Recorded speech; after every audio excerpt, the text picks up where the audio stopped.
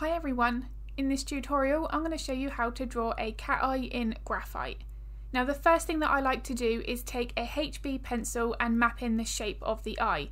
So I want to be making sure that the outside of that eye is accurate. The shape and size of the eye is going to change the expression and ultimately then what that animal looks like. So that does need to be accurate from the very beginning. Once I'm happy with that, I'm then going to start to put in the pupil. Now, cat pupils are quite distinctive compared to dogs, for instance. They have much more of a narrower pupil in most cases. Now, of course, that is going to vary depending on the light source. If the light isn't directly onto the face, the pupils may seem larger, so it is something to pay very close attention to. Now, once I was happy with that, the first thing here that you'll see is I haven't darkened up everything right away. I've put a little bit of a graphite powder layer down for the iris and then I'm going back in now with my darker pencils to reinforce my contrast. Now contrast is something that I speak about in every single video here on YouTube and also my real-time tutorials on Patreon. I want to be making sure that I've got my highlights bright and my shadows dark. So you can see here that I'm just now really building up gradually using a range of my darker pencils.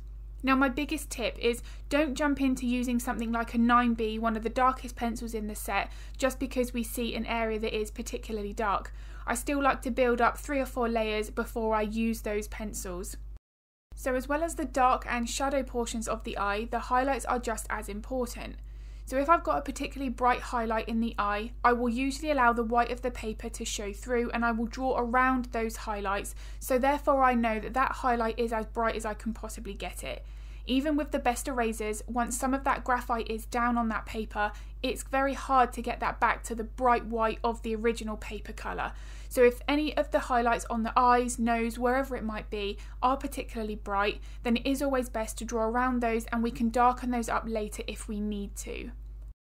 Now it's at this stage where I've got a layer of graphite down on the entire eye where I'm going to go back now with a bit of putty eraser and then just lift up some of that graphite to hint at my mid-tone highlights.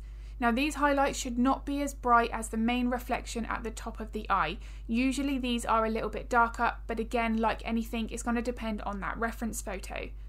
Here as well I want to be using a range of blending techniques and also the erasers. They're just as important as the layers that we use with our pencils. So all of these layers that I'm adding in here each have a purpose to build up more of the three-dimensional sphere shape of the eye.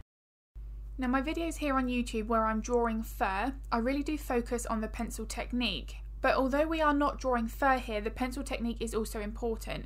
So as I now go back in with my graphite pencils to reinforce those darker values, especially at the top of the eye, the amount of pressure that I'm applying here is really important. Too much pressure and I'm going to end up with harsh, real obvious dark lines and I don't want that here. This should be real soft shading. So I want to be working with light pressure and the other thing as well, this is a real important top tip I feel, is work with a blunt pencil. If you work with a really sharp pencil for this sort of shading where we're just trying to add a very subtle shadow at the top of the eye, that sharp pencil is going to hint at detail that we don't want there. All of this should look soft. The top eyelid is casting that shadow over the eye. So I do find that working with a slightly blunter pencil really does help to get that technique far easier and quicker and it doesn't matter what animal I'm drawing, I will usually tackle every single eye in this same way. So work on the shape first, build up those very subtle layers initially with some graphite powder, and then reinforce the contrast, blending and lifting up some of your highlights. So I really do hope that this video has been useful. If it was, I would really appreciate it if you could give it a like and a thumbs up because it makes a huge difference to my channel. Here's a photo of my finished drawing and as I've said, this does focus the real-time tutorial on how to draw black fur in graphite. This was requested by a few Patreon members so I wanted to create a full-length tutorial from start to finish where I can really focus on that. Now one of the things that this tutorial does focus on as well is how to create the whiskers when you've worked on such a dark base layer behind it because I don't like drawing around my whiskers, I like to add them in after once you've got all of that dark graphite down. So if you would like to see the real-time tutorial, everything's included, there are no sections sped up or cut out, then I will link that in the description below. If you have any art related questions, feel free to pop them in the comments because I'm more than happy to help if I can. And I'm going to be uploading another video to YouTube in the next few days. But as always, thank you so much for watching.